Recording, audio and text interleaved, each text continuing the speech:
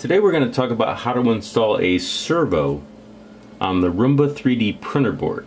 Now I need to go over a couple of pins for EXP3 over here for our set of pins. So to start with, we need to know that this is digital pin 30 right here, then digital pin 14, then digital pin 21, then analog pin 9, then digital pin 4, this is our ground pin, this is 12 volt pin, and then this is a ground pin yet again. Then we have digital pin 31, then we have digital pin 15, then we have digital pin 20, then we have analog pin 9, then we have digital pin 5, we have ground 5 volts, and then 5 volts. So what we need to know is on the servo, for our connector. Orange is going to be our signal. Red is going to be our voltage for 5 volts. And then our brown wire in this case is going to be ground. So if we look at where we're going to install it for digital pin 5, we have a problem. We have digital pin 5 right here, then we have ground, and then we have our 5 volt pin. So in order to deal with this, we're going to use male to female jumper wires. And so I'm going to connect them to each one of the colors by their colors. So red's going to be our voltage. Orange is going to be our signal.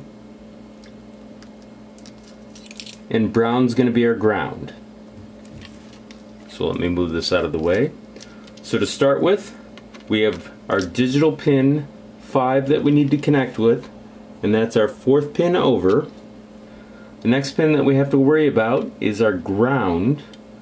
So we're going to take the ground and we're going to put it right next to it. And then finally, we're going to do our 5 volts. So this is how we're going to deal with it being out of order from the normal connector. In a moment, I'll show you in Marlin how we're going to load the firmware. But before I do that, I'm going to connect the USB to the board. And I'm going to connect the other end to the computer and you're going to hear a beep.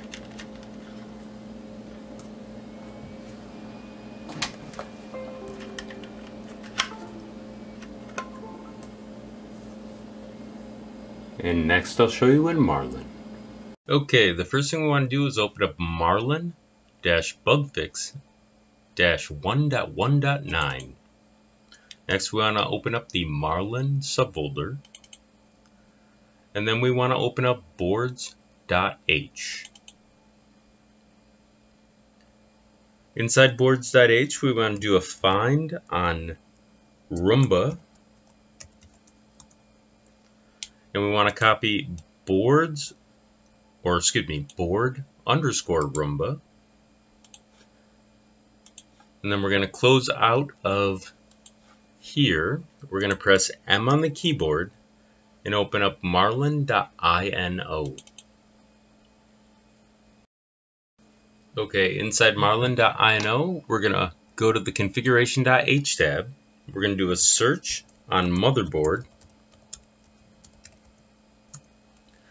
and we're going to replace board underscore ramps underscore 14 underscore EFB with what we just copied. So we're going to paste it here.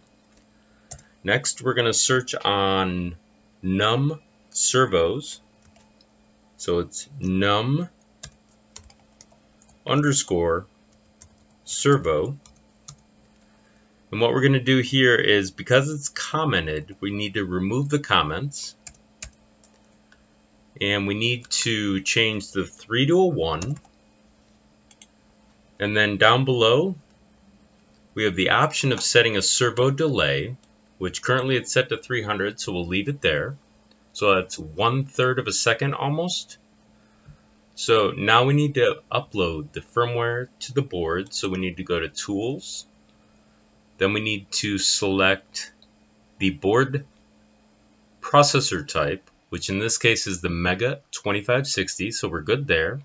Then we need to select the COM port, which is COM port 7. And then we need to upload with the upload button this will compile and then upload the firmware to the Rumba board. So in a moment, in Pronterface, I'll show you how we're going to test it. Okay, we're in the Pronterface folder, so we're going to open up Pronterface. We're going to connect to the Rumba 3D printer board.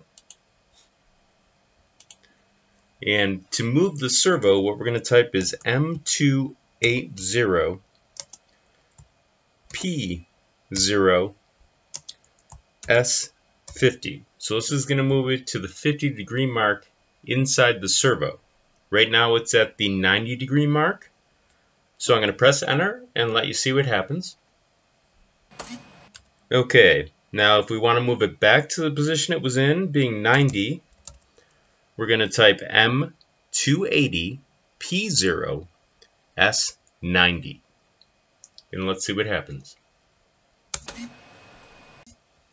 So if you like my tutorial, please press the like button and subscribe, and thank you for your time.